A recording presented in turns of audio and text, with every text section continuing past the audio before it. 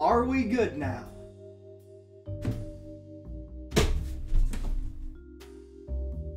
A fly just got in this room.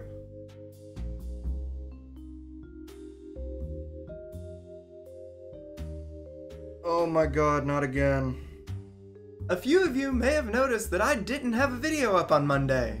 The truth is, I have no idea why. I get off work Monday.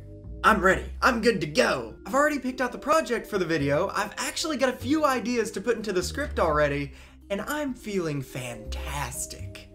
I am happy. I mean, how can I not be happy? We hit over a thousand subs.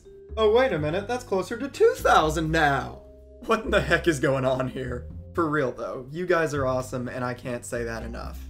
Insert stereotypical YouTuber speech. So I get off work, walk over to my computer, and attempt to get on YouTube.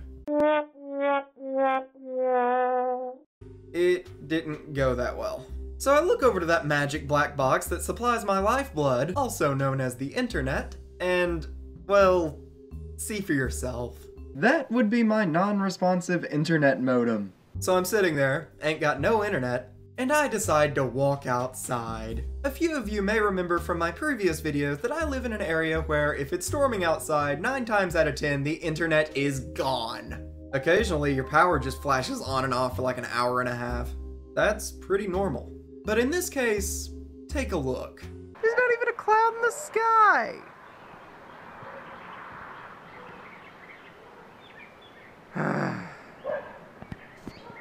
Other than some heavy wind, it was a pretty nice freaking day.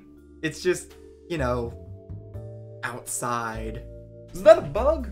So I'm gonna kinda do something special for this week. Consider this my 1000 subscribers celebration video. In the comment section below, you can ask any question you want. Seriously, anything. I will answer it. Ask about what I have for breakfast, I don't care. Any subject, everything's open. And those answers will come in a video that I post tomorrow. Yeah, tomorrow! We're even further breaking the schedule! I mean, I figure this week's already screwed, might as well mess with it some more. Also, because there most likely won't be a video Friday. I kinda go under for a surgery. Don't worry, I'm not dying. It's just something I need to get done. And have needed for quite some time. You have a nice day, guys. Feel free to ask me anything.